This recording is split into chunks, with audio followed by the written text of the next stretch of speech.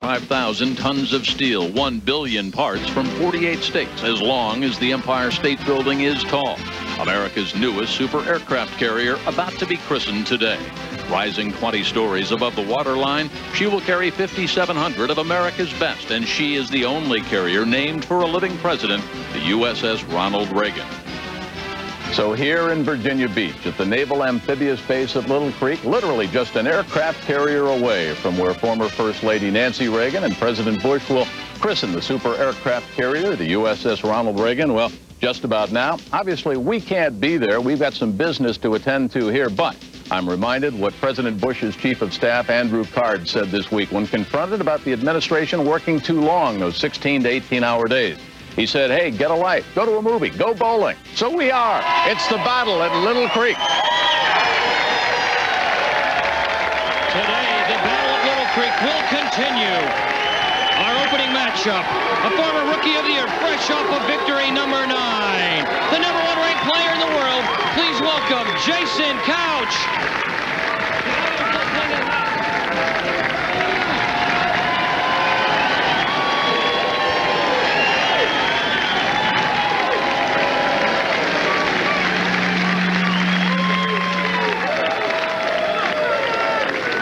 First opponent is a former Rookie of the Year, fresh off of victory number nine, currently ranked number one in the world from Clermont, Florida, Jason Couch.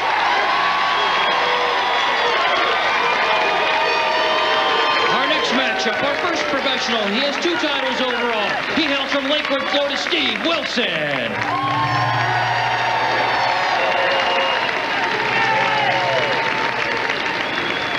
Our final professional was a collegiate All-American at San Jose State, a high of second place on the national tour. He's a man of steel. Please welcome Tony Reyes.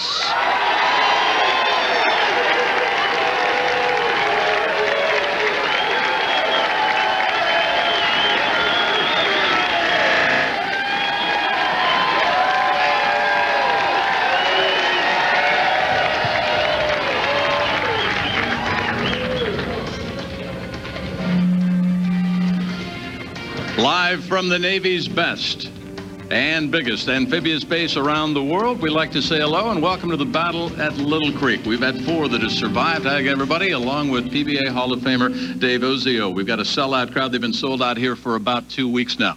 Whoever it was that said all the world's a stage, well, they knew what they were talking about. Last week we were at the Villages outside under the Florida sunshine.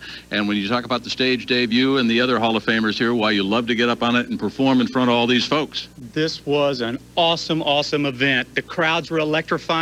These players get up when they bowl in a venue like this. They just absolutely look forward to it. So I expect great things to happen today. Everybody's talked about the road to the Final Four, March Madness, if you will. We've had our version here at Little Creek all week long, and four have survived. Well, the format this week was extremely different. We had 32 of the best players in the world that went through a single elimination format. They won, they had to bowl five games.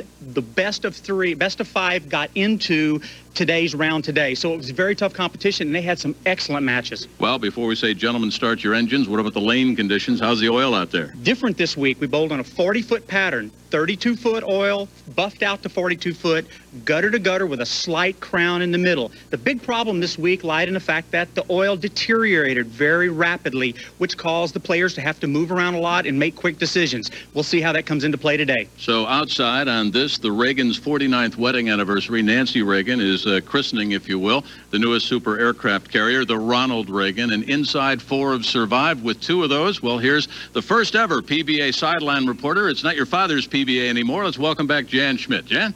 Thanks, Jim. And I'm here with Jason Couch and Brian Himmler. And guys, you're bowling on opposite sides of the lane. So we're going to ask you to tell a few secrets, but it shouldn't affect your competition. Jason, how do you plan to play him? What ball and what line are you going to play?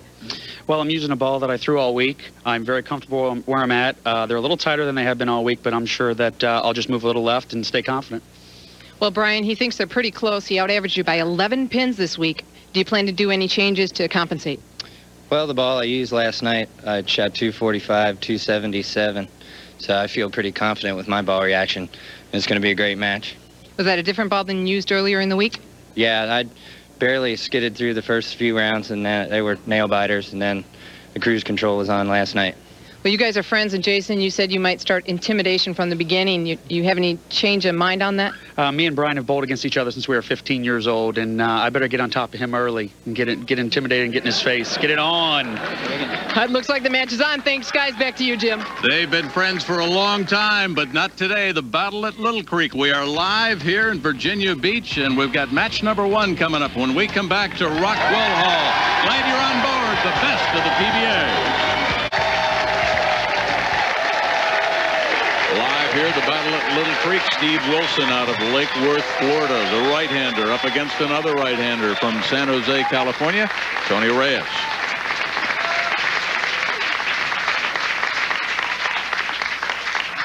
That'll be coming up, but meanwhile, these guys that have battled each other, well, since junior bowling, Jason Couch, he was last week's winner at the Villages. One of the things that he told us last week he wants to do, and he wants to do it again here today, is get out of the box quickly and be aggressive. Jason's big onus is getting too pumped up out of the gate and throwing it too hard. He has not done that right there. He is here to play. He says, I have learned a lot about this game, and I'm here to make some Now, this is how Himmler got here. Brian Himmler defeated Justin Hromek 3-2. He defeated the awesome Pete Weber 2-up, and also the superstar from Finland, Mika Koivuniemi. Great player, and I'll tell you what, he had a hard road to hoe there to get to this point.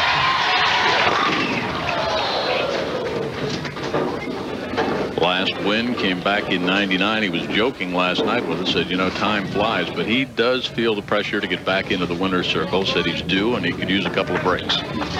He's made a lot of game changes with his touch. He's practiced a lot to really be sensitive as to what the ball does on the lane in order to get it to the pocket consistently, and it's starting to show up week after week.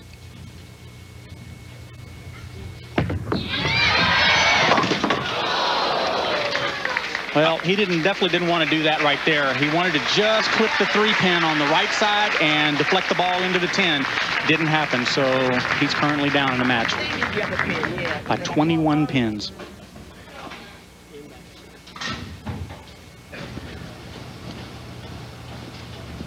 As David Ozio just said, down by those 21 pins and a bad beginning for the Chief.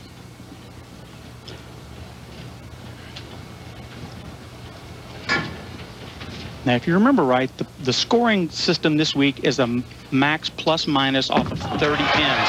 That will mean that it is the maximum amount of score that these players can bowl for the game. If a player starts with a turkey and the other player starts with the spare double, he is currently 10 pins down because the top player with three in a row can bowl 300, the bottom player can bowl 290 maximum.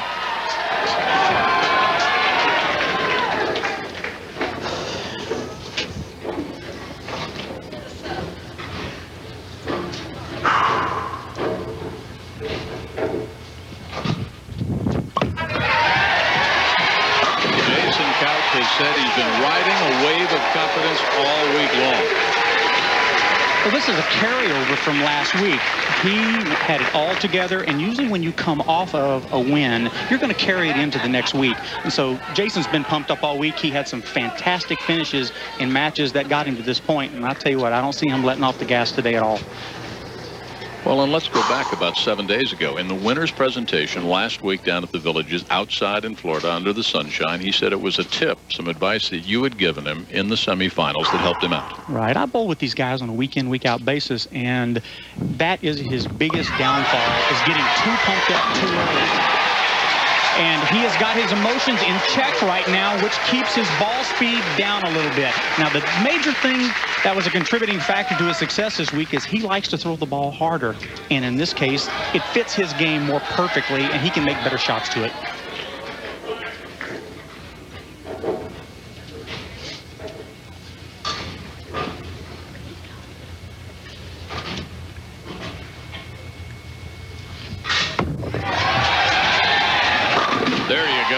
Great, Chief.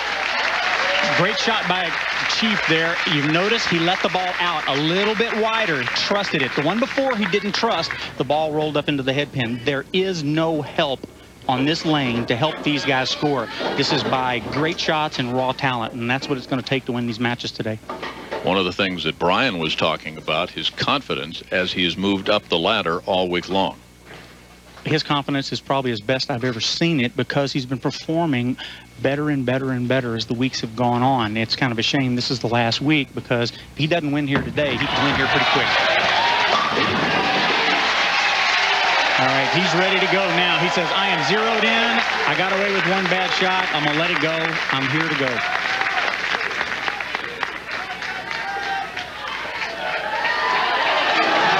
This guy wants the crowd back. He wants them on his side. He's going to do everything he can to entertain these people.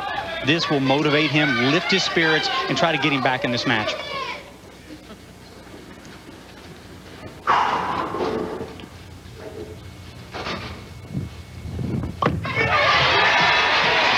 Four in a row.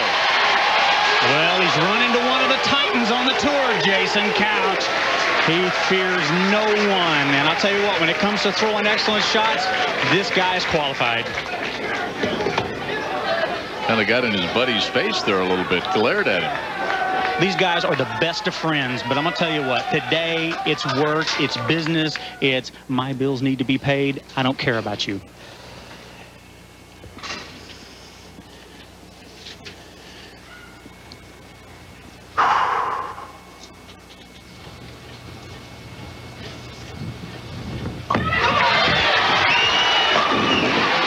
Well, we've had a couple of perfect 300 games here. The Battle of Little Creek so far this week. Brian Voss did it in round one. Byron Smith did it in round one. Danny Wiseman did it round number two. An extra $10,000 if you do it on TV. And do not discount that possibility today with Jason Couch. The lanes were absolutely favorable. This is the most fair condition right to left I have ever seen in the history of the PBA. Excellent pitch. Brad Himmler, Brian's dad, cheering the son on here. Well, Brian has positioned himself here to stay in the match. If he, long as he keeps the accelerator down, he's going to stay on Jason's heels, and that's what he has to do to maintain the level of performance he's going to take to beat Jason Couch. Four in a row for the Chief after leaving the first frame open.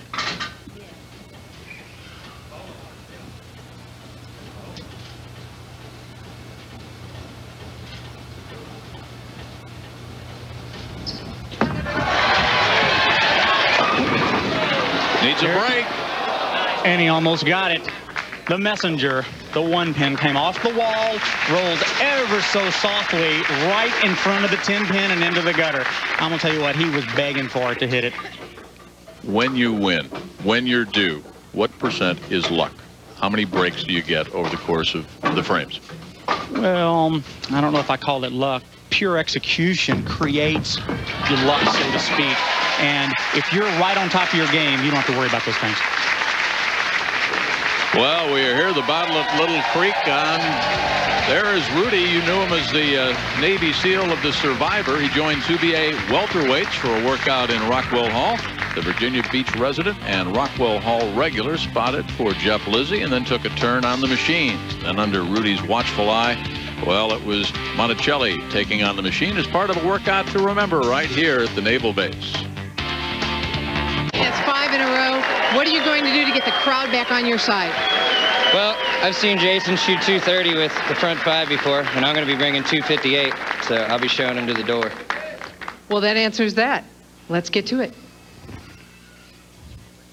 I think he got Jason's attention just then. Who's going to show who to the door, pal? Look at that determination. Well, does that work at a, as a negative to Jason, or is it a lift positive for him to just get geared up and go? Notice he's taking a deep breath there. He wants to be poised to throw the best shot that he can.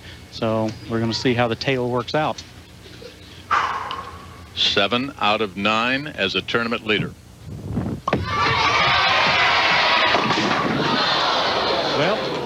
That could have been the negative I'm alluding to right there. Sometimes it wears on the psyche to end up throwing a bad shot. Jason got that ball clearly inside a target, and there's really no hold area here. These guys depend on great shots. In this case here, Jason has to just clip the two pin on the left-hand side, slide the two over into the six. The six will make the 10. Listen to the crowd go up if he picks this one up.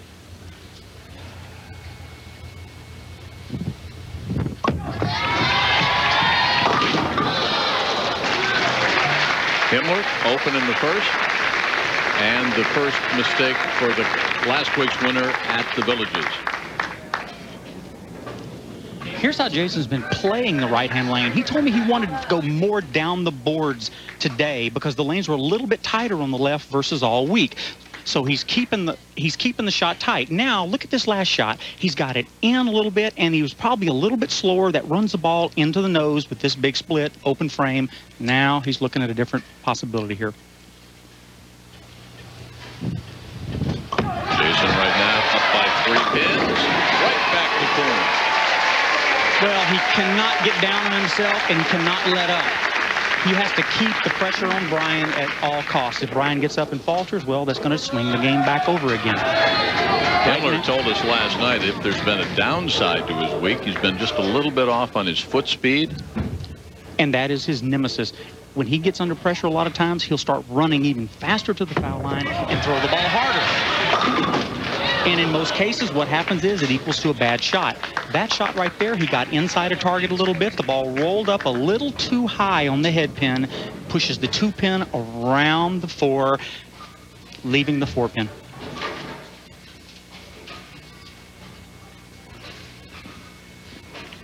Pretty routine spare for Brian. He's going to throw hard at it with the straighter ball, and no problem. Well, if you're a high average bowler looking for a true test of your skills, you might want to check out the new sport bowling program being offered by the American Bowling Congress and the Women's International Bowling Congress as well. Sport bowling offers the most challenging of lane conditions to today's bowlers. So when you join a league this fall, ask your local center if they're participating in the sport bowling program. Brian's up on the left lane now, 14 pins down, and he needs a strike here to set a foundation for him to close out the game. The most he can bowl is 247, but Jason can have 261.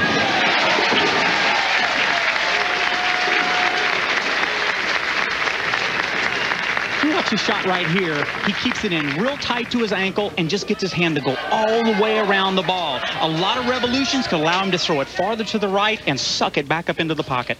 Yeah, that's what he wants. He wants this thing to go down. So much for friendships and a day like this with a championship on the line. No friendships. Not in a match like this.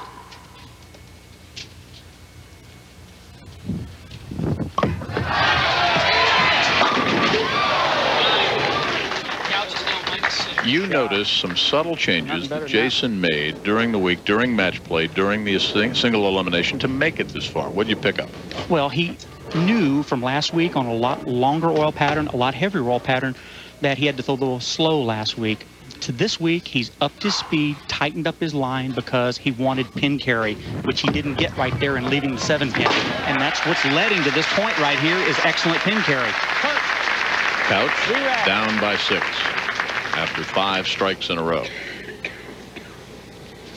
He should just shrug that one off, forget about it. It's over with. I have to look to the future. The best he can possibly bowl is 241.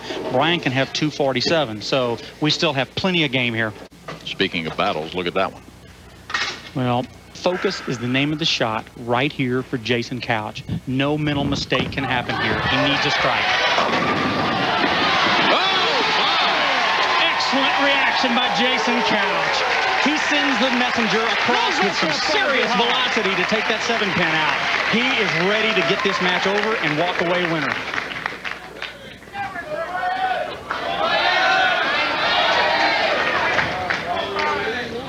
And another look. Keep an eye the upper left-hand corner of just power personified. Look at that one. Well, actually, it bumped the five pin. The one hit the five, drove the five pin over into the seven pin. Delayed reaction fall.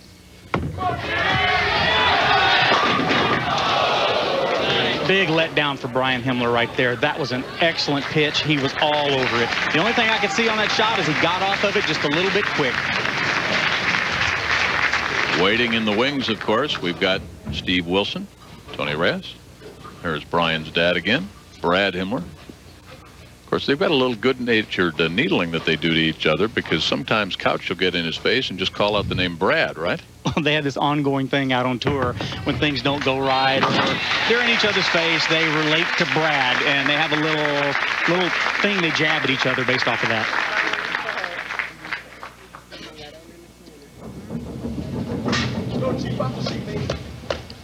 Right now, Brian is 14 pins down. The best he can bowl is 227. Brian, Jason Couch can have 241. Brian can have 227.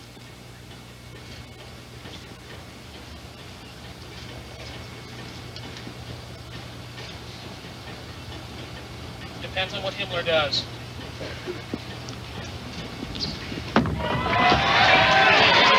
Get in there. a terrific match. Brian Himmler and Jason Couch. He did not want that one to get away from him because it's ever so important to get three strikes in the 10th here because you just don't know what's going to happen in the 10th frame for Jason Couch.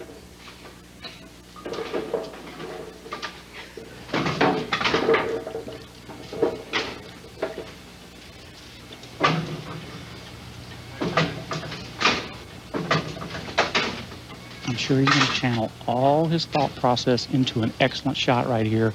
He cannot let this one get away.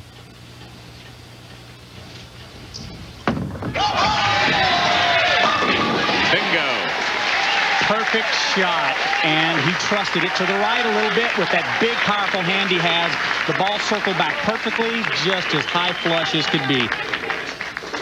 Jason looked like he just missed a three-footer for par. Well, he's kicked all the pressure back onto Jason Couch now. Now he has to get up in the 10th frame to perform this and create his, you know, destiny right here.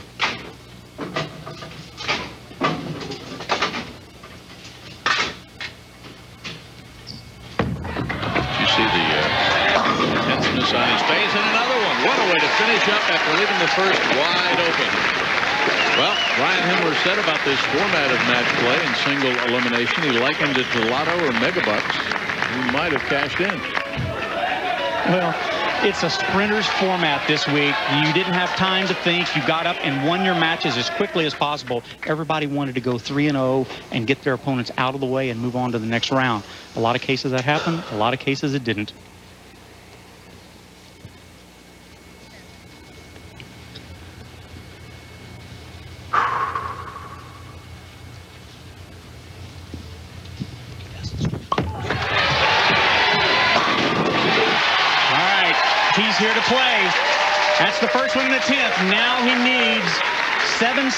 To lock this match down. So this match is not over by any means. Look at this shot right here. He trusted it out close to the gutter. The ball rolls back really heavy and just gets into the perfect spot of the pocket. And look at this. His emotion like, take some of that. 227. Himmler can only sit and watch.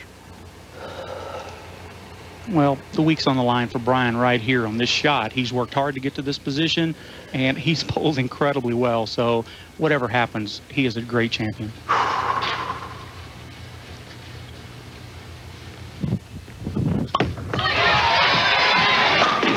No hesitation there as he just wheels it to the gutter with a little bit of authority and says, buddy, you're gone for the week.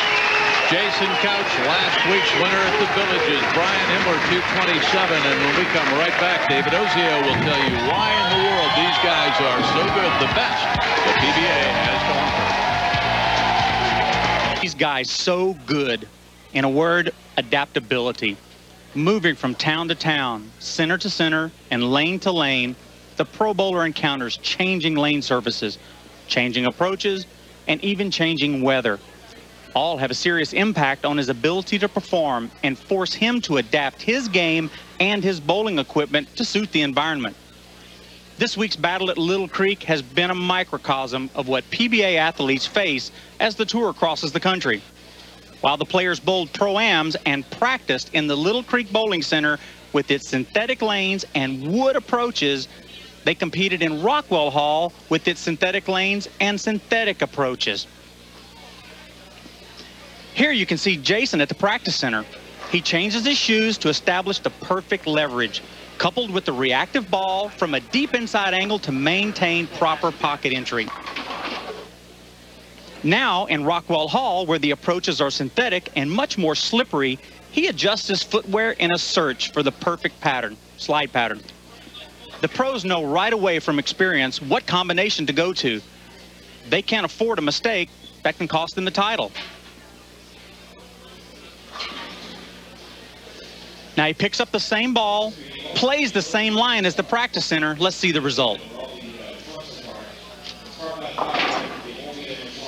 So Jason will change balls, move to a different line, and put the pieces of the puzzle together. Well, the winter schedule here on ESPN, the winter tour of the PBA's best has been a dandy. It concludes here later this afternoon. But let's, uh, well, take you back, a little flashback. The PBA began its 2001 winter season in Reno, Nevada for the National Senior Doubles. Finland's Mika Koivuniemi and Junichi Yajima of Japan made the most of their pairing, ripping through three matches and reaching the title match. The 2000 Player of the Year, Parker Bohn, was waiting along with Ron Morton. Morton began the match with a strike, and Parker Bohn closed it out in style and shared in Morton's first PBA title. The second stop on the winter tour, Daly City, California, and it featured a duel between two PBA greats in the final. Mike Aulby, as always, applied the pressure early. Jason Couch, a star in his own right, showed his respect for his childhood hero. Hall of Fame? Not in the Hall of Fame. so once again, Mike Aulby delivered. His 27th career PBA title moved him into fourth on the all-time list. The tour rolled on to the Orleans Casino Open in Las Vegas, the city of glitter and gold. And there, Jeff Lizzi jumped out to the lead in the title match with a trio of strikes. Ryan Shafer, the defending champion, responded with three strikes of his own. So needing a strike and an eight count, Lizzi came up short in agonizing fashion. For Shafer, career title number three.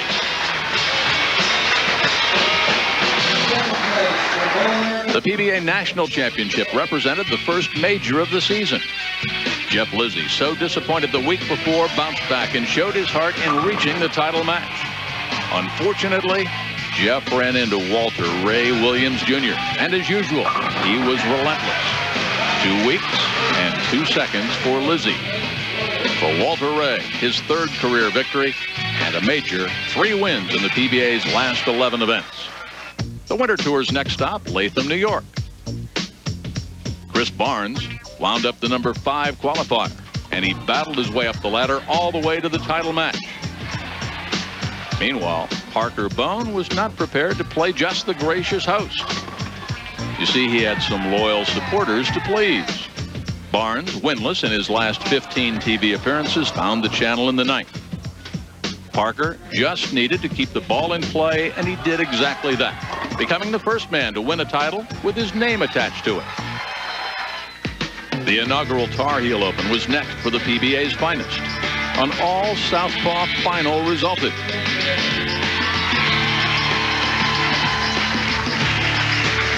The title match, a battle of Floridians. Second seed Ricky Ward and Jason Couch, the tournament leader. With nothing but strikes in frames 6 through 10, Ward returned to the winner's circle for the first time since 1999. And just last week, the tour moved under the bright Florida sunshine, the Villages in Florida. The PBA's second ever outdoor final produced a dramatic title match. Chris Barnes kept his game clean through the eighth frame. But Jason Couch thrilled the hometown crowd with big shot after big shot. And Jason grabbed his first title of the winter season. the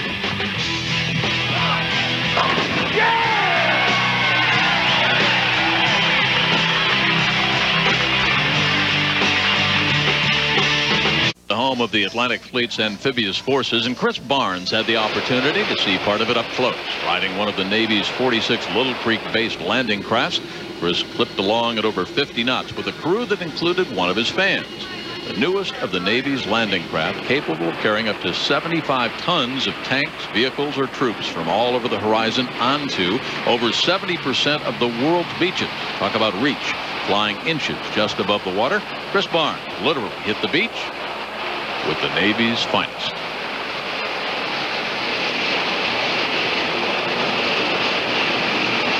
Well, we talked about the first time that we've got a PBA sideline reporter. She is pretty, she is smart, and she is knowledgeable. Here again is Jan Schmidt. Thanks, Jim. Tony, you talked about this format. You said you like it better than the long format. Why?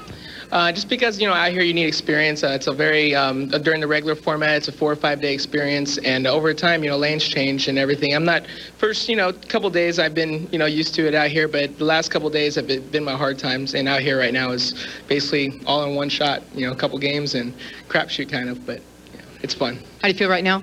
Feeling great. Feeling great. Steve, you said that you never get pumped up for TV, but you might change that tonight. What are your plans? Well, normally I'm a laid-back type bowler, and I try to keep my emotions in check.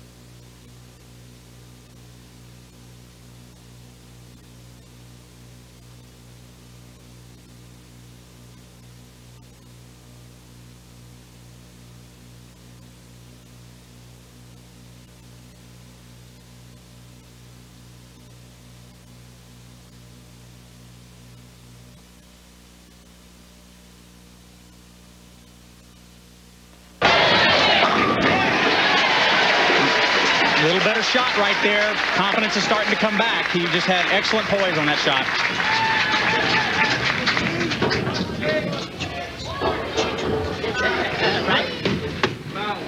Now, Steve Wilson right here, he's playing the lanes down the boards. Very little head belly. He's got a lot of heavy roll on it.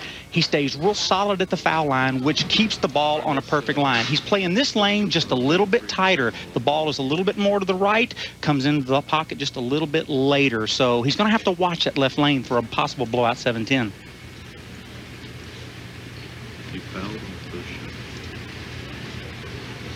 Fouled on the first ball? I don't see that anywhere here on the scoreboard anyway. It's his second ball. He did foul on the first.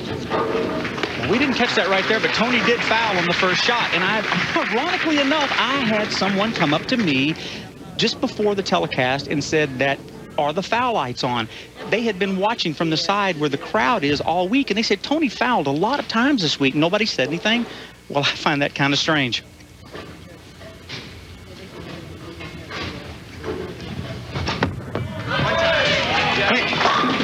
Great shot by Steve Wilson. I'm going to tell you what, that takes a lot of pressure off of him right there.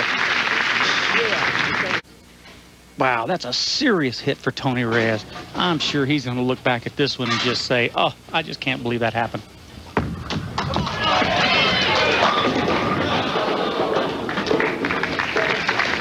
Funny talking to Steve last night about pressure and about nerves, and he said, yeah, all week long in this single elimination match play format, he said he's been nervous in the first game. Well, guess what? Here in the semifinals, you only get one game. Well, it's much different than what it was all week. You have one shot here, and that's it. And I'm going to tell you, he's a hurting unit right now.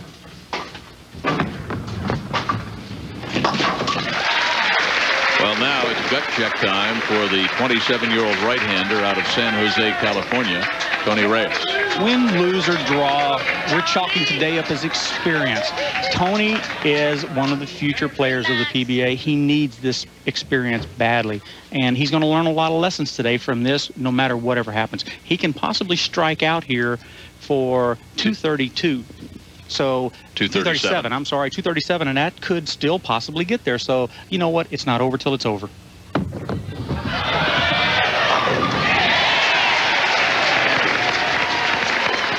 All right. Tony's wife Shannon right there. A little nervous time for her. It's his second telecast, as you know, and you talk about the experience. Asked him last night what it would mean to him were he to win. He just laughed. He said, that would be huge. He said, but it would prove that I can actually make it out here. I mean, there is an indoctrination you guys go through. Some players are still 10 years that they haven't won yet. So, I mean, he has a lot, he really has a lot to prove to himself.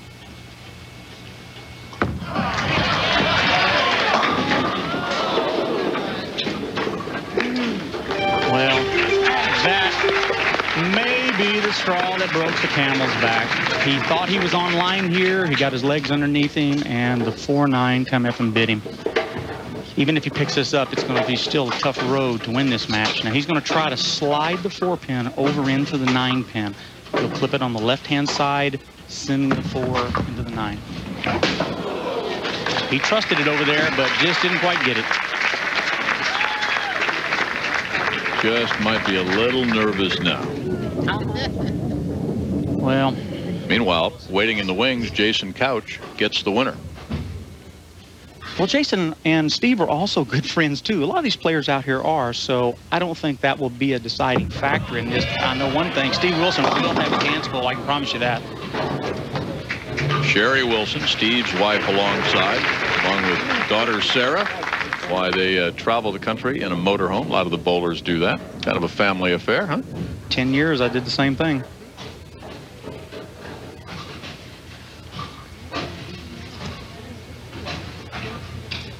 Pretty honest last night. Said he's been struggling the last year or so.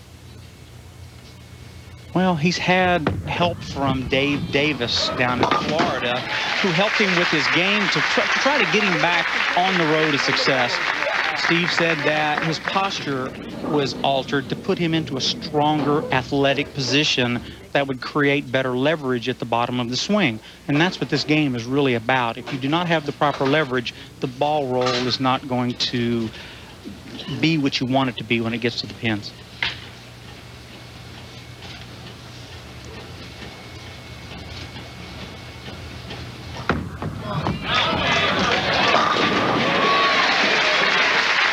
Steve Wilson, Tony Reyes, matched up, and the two wives are side by side. Shannon Reyes and Sherry Wilson, both cheering their husbands on, hoping to advance here in the battle at Little Creek.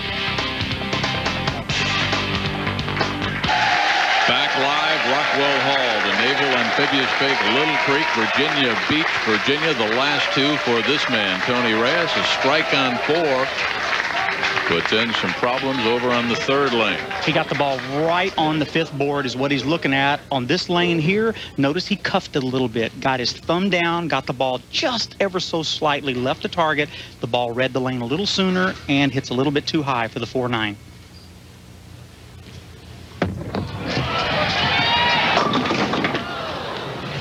Well, this by no means was Tony's performance this week.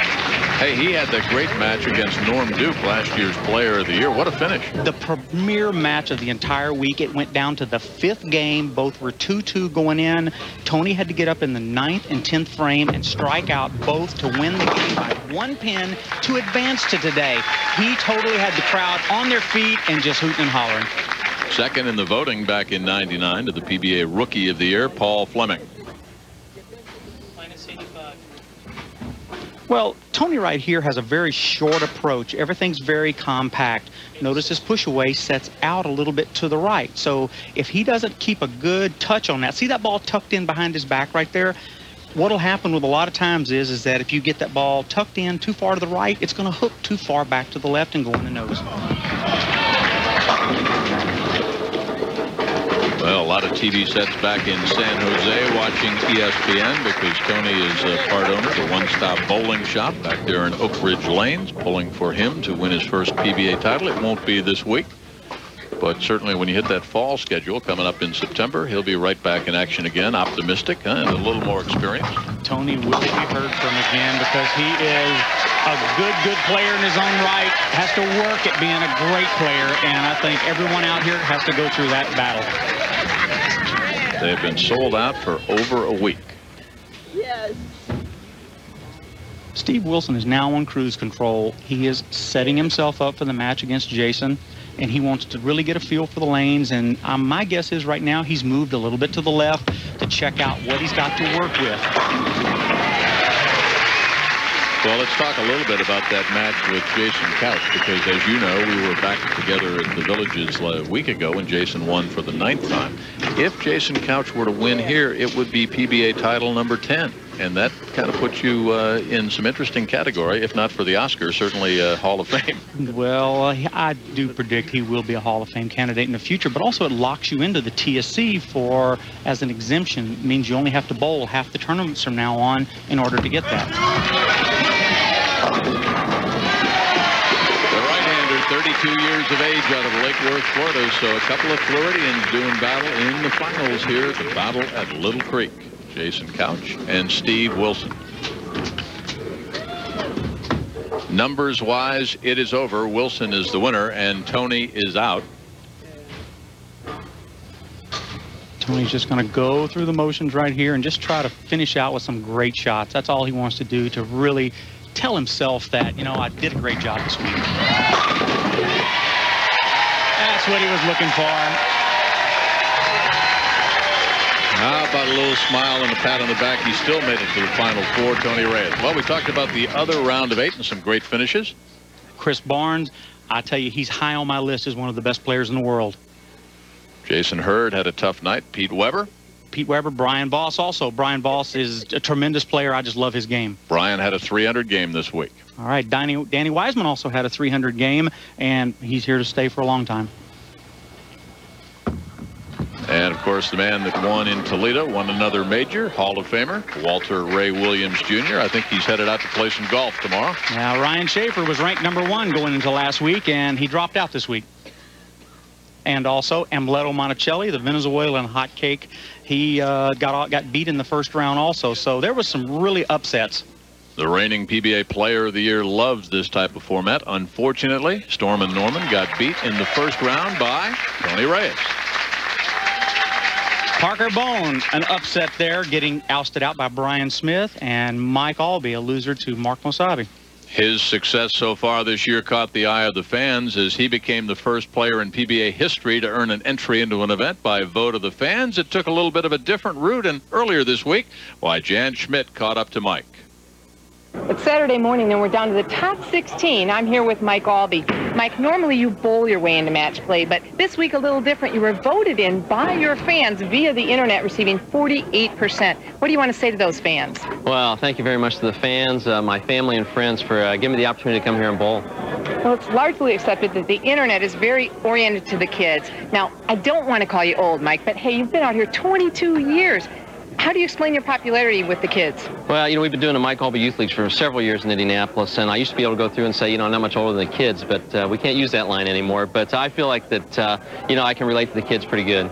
You were quoted in an article as saying you're friendly, approachable, and intense. How do you combine all of those qualities? Well, when you're on the lanes, you try to flip a switch and just become very narrow-minded and intense and really work hard on the bowling part. When it's over, you flip the switch off and uh, you become a human being again and just go out there and, and treat people the way you want to be treated. Well, those are great qualities to vote for, but you have to tell me, did you do any lobbying to win this? Well, we had a pretty good network working, especially with uh, my son CJ's hockey team and his friends, and uh, they did a great job out there, uh, you know, pounding the pavement for me. Did it take any bribes?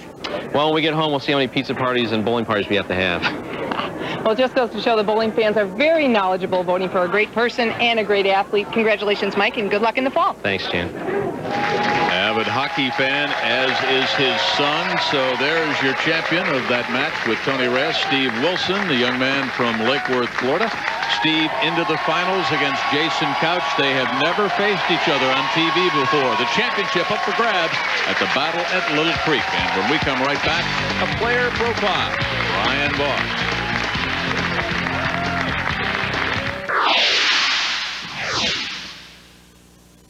I grew up in Anchorage, Alaska. My dad owned a bowling center. Uh, I started when I was six years old. Uh, he owned a center for about four years, and uh, thus we became a bowling family. My whole family bowls. When I was a senior in high school, I gave up my amateur status, and I bowled in leagues where I was going to be earning money. And that year I ended up winning um, an all events title. We have a state tournament, and that qualified me for a nationwide tournament.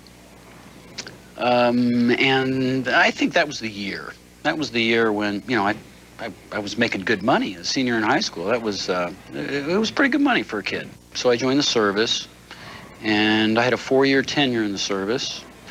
Uh, while I was in the service, I won All-Army Champion for two years. But I also made real good money, and I didn't like being in the Army. As, as good as the Army was for me, and it really was. I don't think I'd be where I'm at right now if it wasn't for the uh, what the service did for me. When I was in the service, um, uh, we traveled to different countries while I was stationed in Germany. And the one thing that stands out in my mind is when we, would go to a tournament in Zurich, Switzerland, and here we would have we'd have Italians and we'd have uh, Germans and the French and the Swedes and everybody in this one bowling center and it was all because of, of, of knocking down pins. A break in the action here at the Battle at Little Creek, so we get a chance to introduce the new commissioner of the new PBA, if you will, Mr. Ian Hamilton, who's been on board since about September. No question since that time. It seems like a major announcement every 30 days or so from either Akron or Seattle. Thank you, Jim. Uh, we've there's been a lot that's had to happen since we started in September, and when we got started, we identified four areas that we had to fix right away. One was schedule. Nobody knows when bowling season is. Everybody knows when baseball season is. Everybody knows when basketball season, but nobody knows when bowling season is. So we identified September through March as being bowling season, with a break in December. Secondly was our television show, that appointment television was critical to the viewer. The viewer needed to know when they could find bowling on TV. So going forward, our goal is to have appointment television.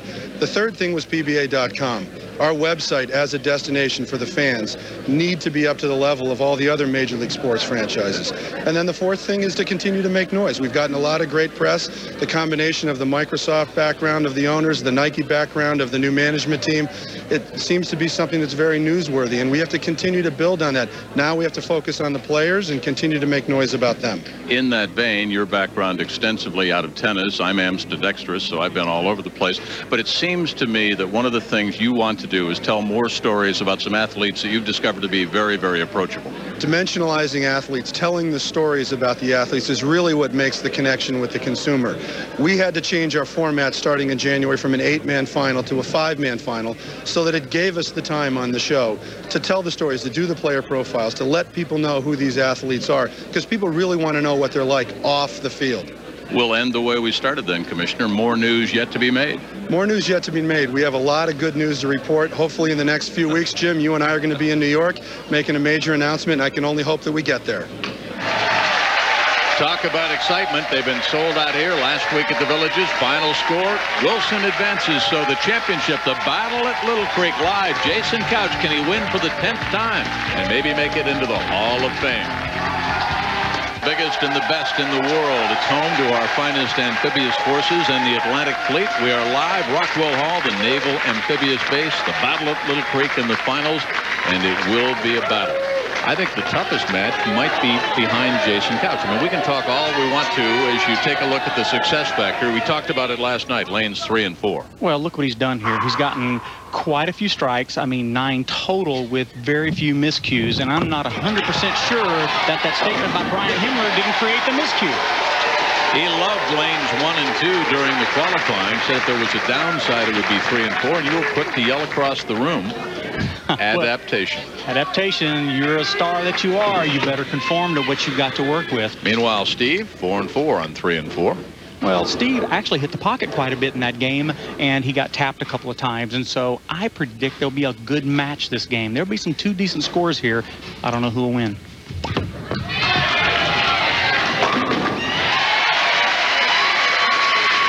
Steve's not intimidated by Jason whatsoever. He gets up and just throws an absolute great shot. So he's going to stick it right back into space and say, I'm going to give you all you can handle. With his last victory in 96 at Grand Prairie, Texas, what's really on the line for him today were he to win? Mentally, to get him back in the game, earn the respect of the players, too, that, you know, he's still a force to be dealt with out here. I think we all go through that. But he wants to, in his own mind, know that he still has it.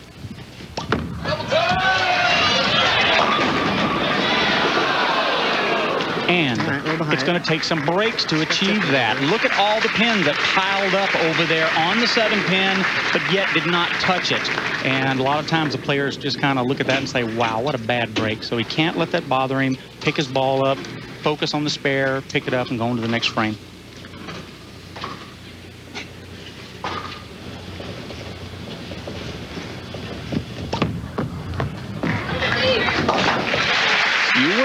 Say that Steve is unemotional. He is very intense, but certainly by comparison with the fiery Jason Couch, and will that lack of emotion or lack of apparent emotion help or hurt Steve up against this guy? I say it hurts him. I don't think he lifts himself up to an elevation that will cause him to throw great shots on a, a just a shot after shot basis. Jason does. This is a sprint, mind you, and Jason's going to be totally focused on every shot.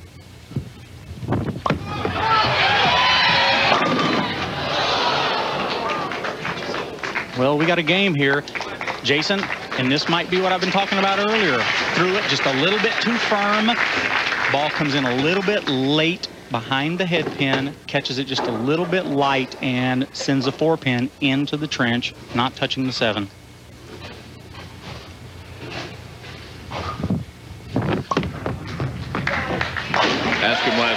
Define pressure. He just laughed. He said, wait, you asked me that last week in Florida. And I said, well, it's a different week. And he said, okay, this week's format is pressure. Very tough format in the fact that it was a sprint. You get out there, you try to win as many games as you can, and you bowled heads up against the best players on the planet. And, you know, there's no gimmies out here, especially on a condition that's a little bit challenging. It's not extremely easy, but it's not extremely tough.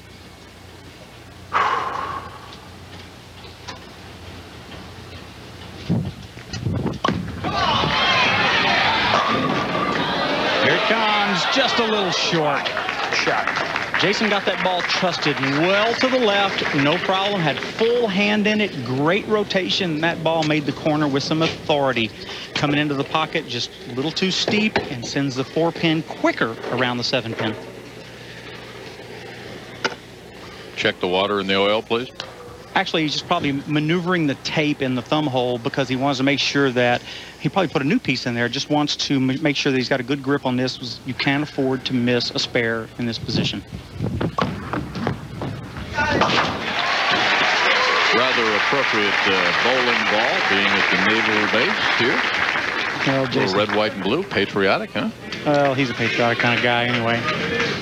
How about Chris Barnes' outfit the other night? Wearing the red, white, and blue, but he was a Team USA member, so being that they wore that type of outfit all the time, it just fit here too perfectly.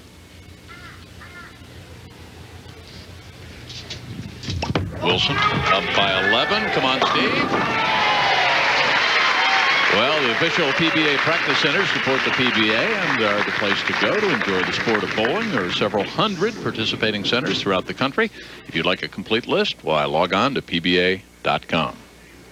Steve did his job, got up on the right lane and just got refocused and said, I'm still in this game. I don't worry about this guy. If I bowl the best game I can bowl, I have a chance to win. Don't worry about your opponent. Just make great shots.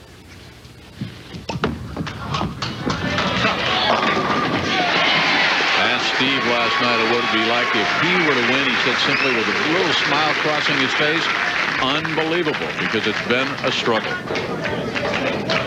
Uh, Jason, last two shots, both have been nines. He left seven pin. Notice both shots got extremely close to the gutter and then charged back to the pocket really hard.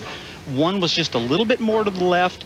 This one right here was just a little bit more to the right in the pocket. We talked last week about the depth of the pocket that wherever that ball enters is what it could leave. And one was a soft seven, one was a hard seven. Was a hard 10 in the pit for the big Jason Couch. Tim checked his feet, though? Wanted to make sure, because earlier we saw Tony Reyes fouling.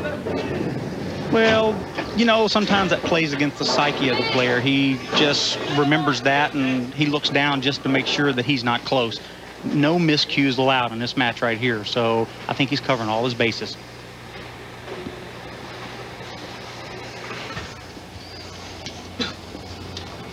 Steve Wilson is up by 11 pins right now. And he's just sitting there looking away, thinking that, you know, come on, Jason, give me a break. Four consecutive championship appearances for that man, Jason Couch. What a role he's been on, huh?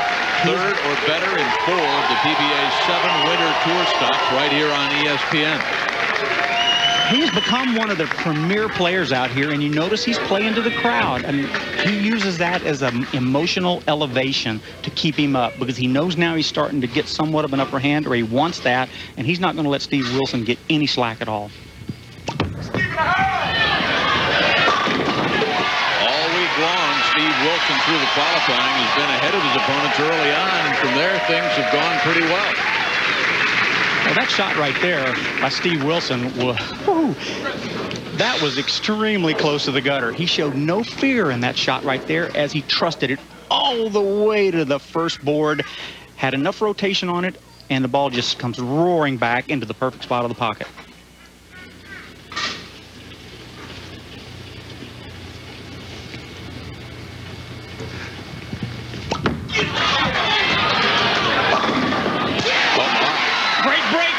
Wilson right there.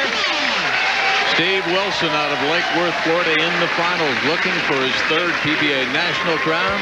11 years of the touring pro up against last week's winner, Jason Couch. 23-pin deficit in the final four of the decisive third game last night. You've seen him. You've bowled against him. I mean, there just is no get up and quit in this man whatsoever probably the most intense player on the tour right now. Pete Weber owns a part of that title also. When Pete gets, gets it going like Jason does, they're both on that same level of intensity, which fuels them to perform their best. Championship match down by 11. Four in a row for Steve, looking for his third PBA title. I knew this was going to be a battle nobody's going to give this one away. I'll tell you what, um, both these players are on their games right now and they're mentally prepared to do the job.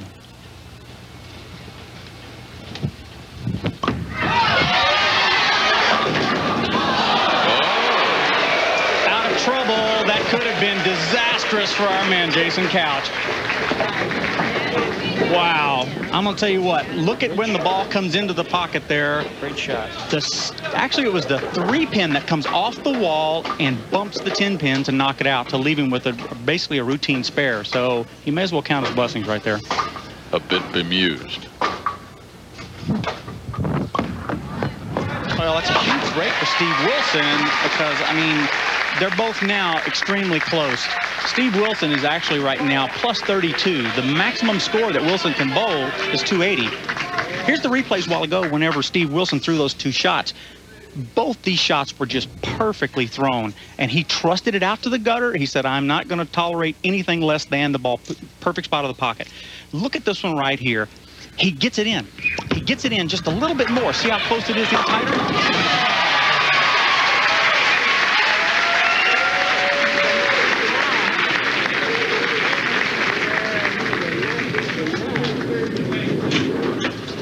Here's another look at the shot before. Notice the ball is in about two boards, maybe two and a half boards from the one on the right lane, but the end result is a lot different. Watch how high the ball goes up into the pocket. Notice that it's almost on the head pin. The ball goes to the sideboard. The pin goes to the sideboard and comes back and chops and chops the four pin off right there.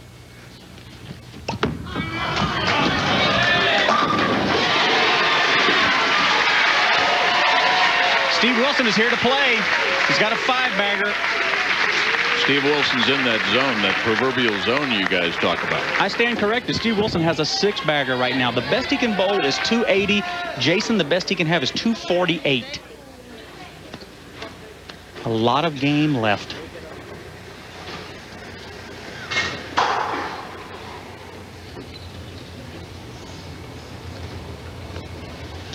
Jason needs to dig extremely deep and summon out the best shots he can throw right now.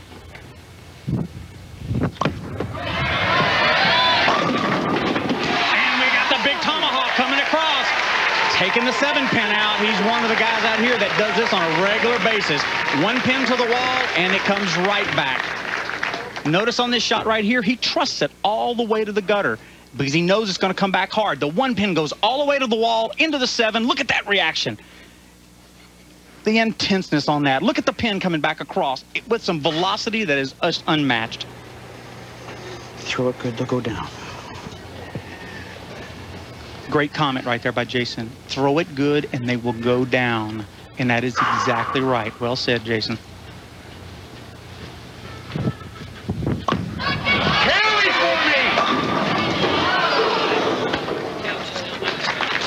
He was hollering. He knew that that ball was going to be close to the pocket.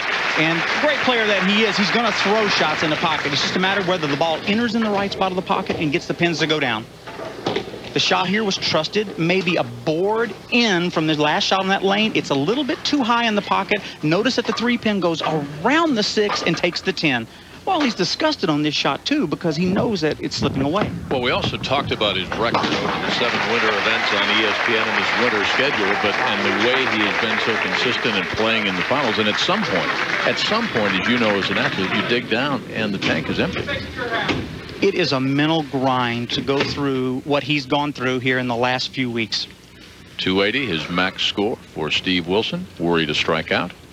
Six in a row so far. The, the big door can be closed right here with the strike. One time. He wants it.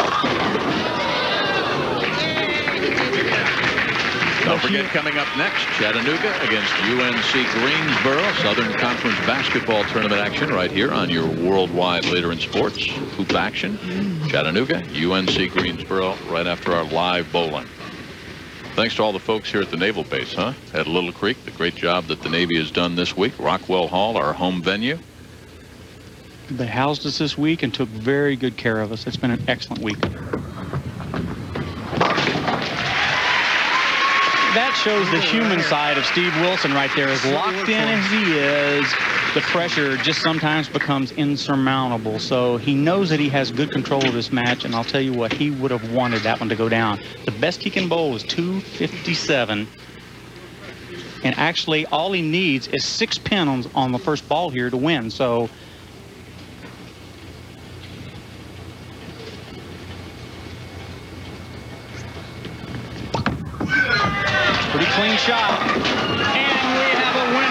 Steve Wilson. Great performance this week. 10 years of PBA Touring Pro. It's his third national title right there. The 32-year-old right-hander out of Lake Worth, Florida. His first win since back in 66.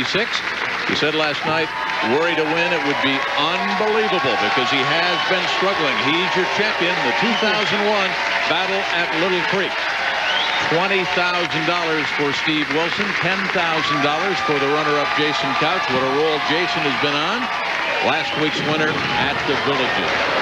For more information on the fall schedule as far as the PBA is concerned, log on to their website, pba.com. A major announcement coming up right after, well, March Madness and hoops. And speaking of college basketball, next on your worldwide leader in sports, Southern Conference basketball action tournament style, Chattanooga against UNC Greensboro. This has been a presentation of ESPN, the worldwide leader in sports. For more information, log on to ESPN.com. So long, everybody.